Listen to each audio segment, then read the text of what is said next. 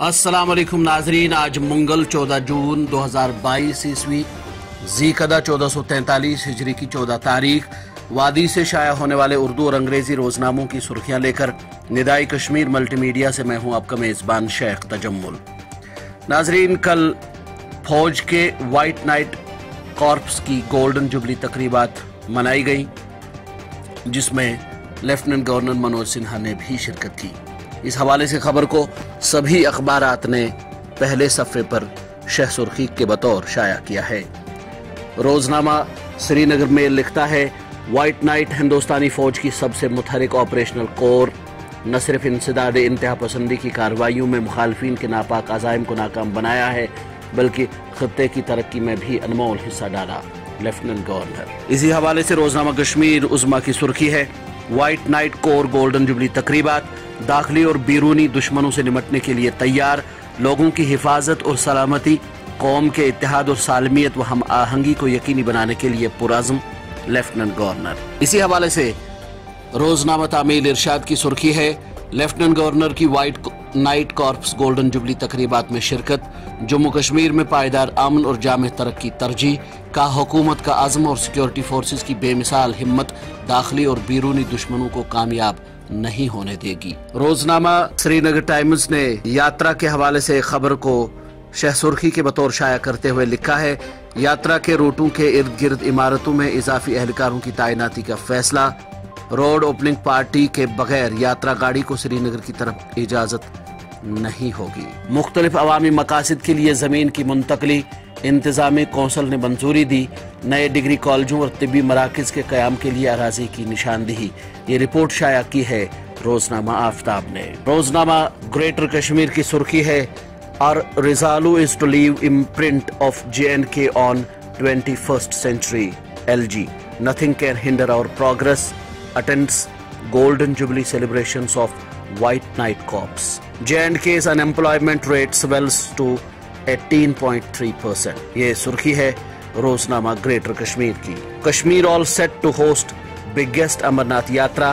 Pilgrimage goes hi-tech yatra to act as major boost for local economy tourism ये report शाया की है रोजनामा ग्रेटर कश्मीर ने। मोदी सरकार के आठ साल कई लिहाज से बेमिसाल हैं। प्रहलाद सिंह पटेल, हुकूमत ने इस साल जल जीवन मिशन के तहत साठ हज़ार करोड़ रुपए मुख्त किए हैं मरकजी वज़ीर ममलिकत। ये रिपोर्ट शाया की है रोजनामा श्रीनगर मेल ने। बठंडी से वादी कश्मीर तक गैस पाइपलाइन बिछाने का मंसूबा फिर से शुरू किया जा रहा है। काम तीन चार साल में मुकम्मल होने की उम्मीद। ये खबर शाया की है रोजनामा आफ्ताब ने। रोजनामा श्रीनगर टाइम्स की सुर्खी है, कश्मीरी पंडित मुलाजमीन वादी से बाहर मुंतकली के मुतालबे पर कायम, जम्मू में प्रेस क्लब के सामने मुजाहरा, हाथों में तख्तियाँ लिए, नारे लगाए। अतिया खून करने वालों का आलमी दिन, इंसानी जान बचाने वाले मसीहा, सरकारी मुराद से महरूम, ये रिपोर्ट शाया की है रोजनामा कश्मीर उस्मा ने भदरवा में बदस्तूर कर्फ्यू नाफिज, डोडा में हटाया गया। इंटरनेट सर्विस पाँचवें रोज भी मुनकता।